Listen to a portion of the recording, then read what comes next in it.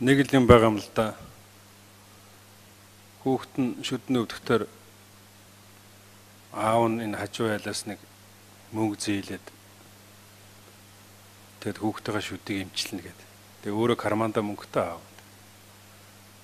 Тэгэд яваад байгаа хүнтэй л манай хүрэл Батар сайд адилхан харагдав.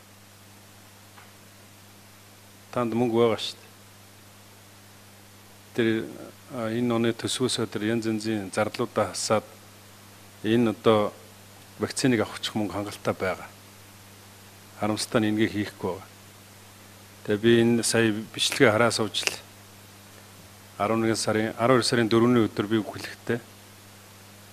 Дэлхийн бүх орнууд одоо юу гэдгийг наана ингээд Covax Center гэдэг одоо наана болохдоор ингээд энэ вакцин бол дэлхийн улс орнууд тэгш хүрэх ёстой гэж ярьдаг мөртлөө цаана бүгдээрээ уралдаад өөр өөрсдийнхөө иргэдэд вакцина хамгийн түрүү авч тарина гэж хэлжсэн яг тэр хэрэгжээд эхэлсэн шүү дээ. Том том орнууд бүгдээрээ хамгийн түрүү худалдаж яваад өөр наана одоо нэг геополитик энэ төр ярьчаад наа цаана болохдоор бүгдээрээ тэр э, вакцины компаниуд дээр ч очиод бүгдээрээ худалдаа авалт хийгээд одоо иргэдэд тариад хамгийн түрүү яаж энэ энэ ковидын дараах энэ эдийн засаг руу маш хурдан яаж орох уу гэдэг ийм л уралдаан болж байгаа байхгүй.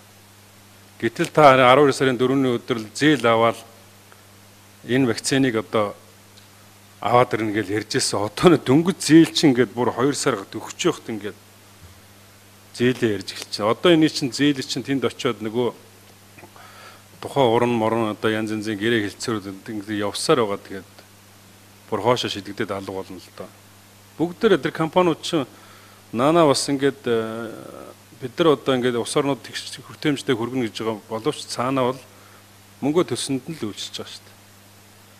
Тэгээ мэдээллийн хэрэгслүүдээр одоо манай Монгол улс 22 оны сүүл хавьяар орно гэдээ бүр ингээд мэдээлэл гарсан. Өөрөлдвөл яг энэ вакцины хөрөнгө оруулалт, вакцины үйлдвэрлэлт, бусад тээвэрлэлтэй холбоотой асуудлууд интерес харьцахад бол 23 22 оны сүүл хавьяар орно гэдэг. Ингээл ийм л юм явж байгаа.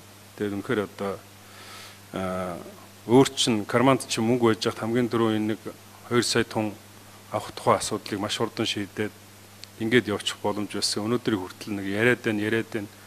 Covax найдад хэрэггүй. Covax бол бүтэхгүй. Covax бүтдэг байсан бол одоо аль төрөө ирсэн байгаа.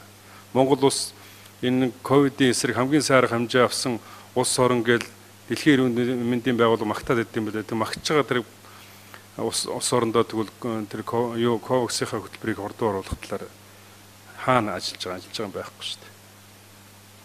Өөрөө мөнгөтэй өжж карманда мөнгөтэй өж. Тэгээд энэ усынхаа төсвийн 100-ны 1 нь шаардагдах. Тэр вакцины мөнгөнд одоо мөнгө зарцуулахгүй байна гэдэг бол үнэхээр хариуцлагагүй зүйлээ.